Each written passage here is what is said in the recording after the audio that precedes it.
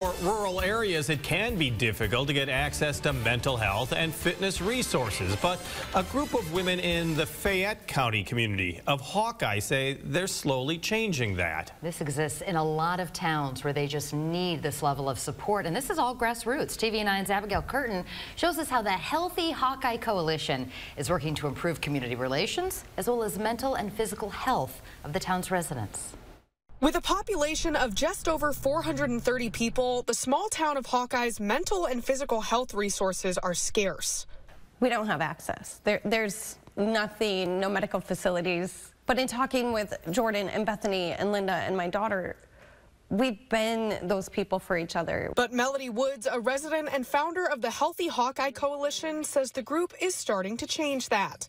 It started as a walking group last fall, providing any interested resident with a way to make new friends and get some exercise.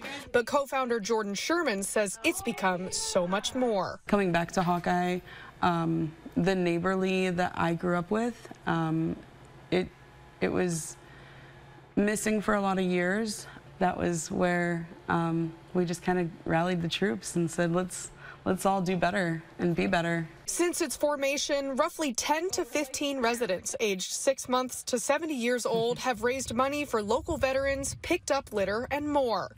It goes beyond just the healthy side of things. It, it really is family. Like we help each other out, we take care of each other. It's definitely, it's close-knit, but it's open to anyone. But members say the biggest impact has come from forming new relationships and allowing this small community to thrive. It's evolved into friendships and family that's not blood related.